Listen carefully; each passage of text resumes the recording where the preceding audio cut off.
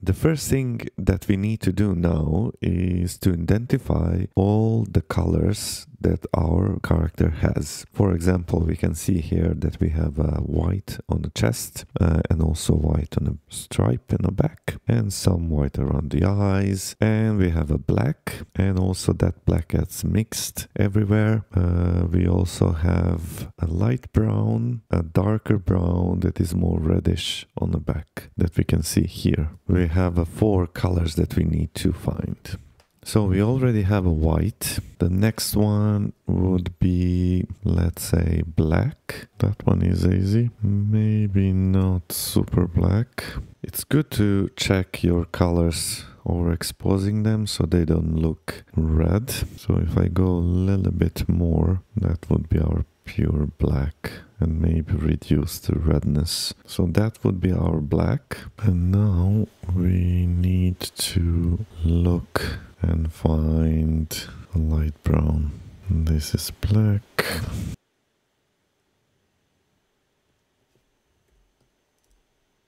So now we need to find our light brown. It's a little bit more red. Let's see.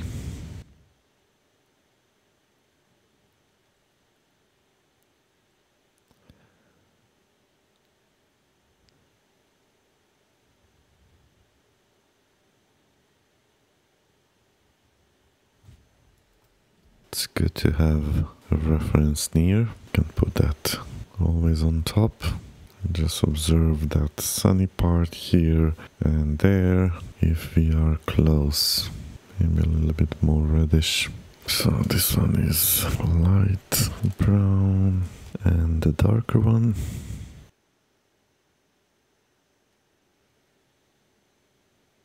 So that could be our darker reddish brown roughly. We will readjust this later when we start mixing them.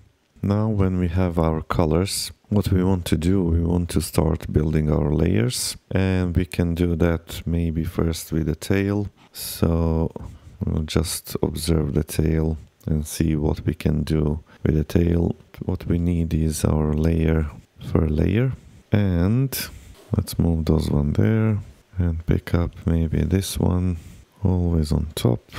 And if we zoom here, we can see that we have a white, black, light brown, and maybe on the bottom here a little bit of black. So what we want to do here, we want to start building our layer. So we will start with the root, the base, and that would be our white here, values 00302 so 0 0.2 0 0.003 and percentage to 1 so now we have our white. We can call that layer white. Control C control V base absorption. And now this one will go on top. And that would be light brown. And our light brown values would be 0929 0929 and a melanin amount.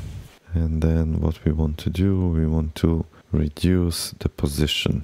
So if we do that it's good to go closer to observe what actually is going on. So we could say that that is maybe for now just 10% there a little bit of whites it's too orangey.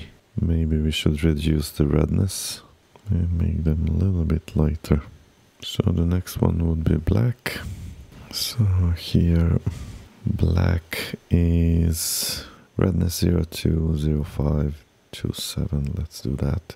And here 02 and change the position a little bit higher, maybe 50% like that. And now we need our white again. So here I'll say white or tip. White tip and position. Actually, this one needs a little bit less. mistake there. Okay, so the black one will go 50, a bit more, less than 50%, but it's almost there. The white, maybe a little bit less. So now we can see that our tail is pretty dense.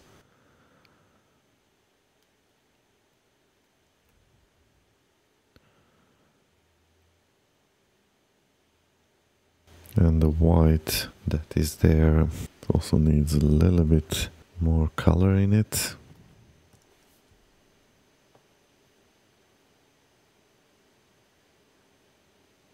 A little bit and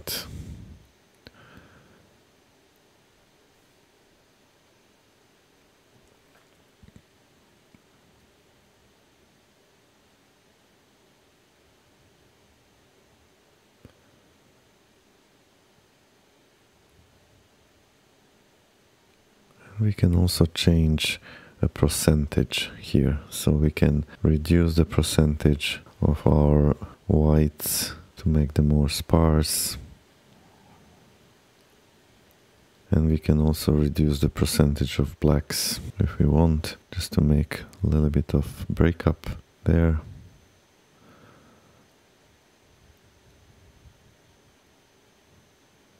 So this means that not all of them would be what we see in our reference image. So maybe reducing that back would be more accurate. Check our character now. Now all the layers are applied over the whole character but what we actually want to do now we want to create some textures and isolate a layering of tail and then introduce other colors and layer them on top of the body so what we can see from these references here is that the amount of hairs in a in a tail is much less than what we have in our setup. And this is the point where you would go and change this to uh, dynamic. Wait until he generates the the curves. Lock that view and go to the object. And this is our tail. And let's let's look that a little bit closer and for example reduce the density Let's reduce it half. So it was 100,000, now it's 50,000 or maybe even more. Let's go 30,000. We almost need to see a, a tail there that can be seen from this angle because the hairs are perpendicular and we can kind of see the similar effect that we have here except that our, our white tips are a little bit longer. So we can go here, select white tips and reduce the length. And also probably a thickness of those hairs needs to be higher. Object, select them and go to thickness. So change that a little bit, maybe 100 micrometers. We can go back and then introduce a little bit more color here like that. And also a little bit more color like that. And now we have fall off that we can actually do some fall off inside between the white and the light brown. So if I do fall off we will we should see the inside having a little bit of gradient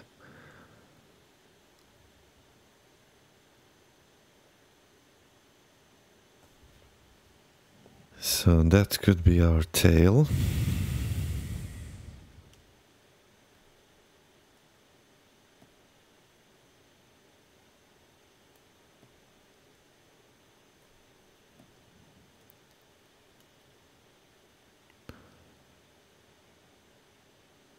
Maybe a little bit more of this white.